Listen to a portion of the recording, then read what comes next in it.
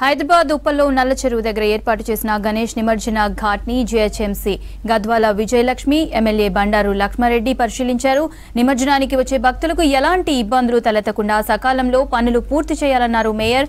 అన్ని డిపార్ట్మెంట్లు కలిసి సమన్వయంతో పనిచేయాలని సూచించారు. పార్టీలకు అతీతంగా గణేష్ ఉత్సవాలు చేసుకోవాలన్నారు మేయర్ విజయలక్ష్మి.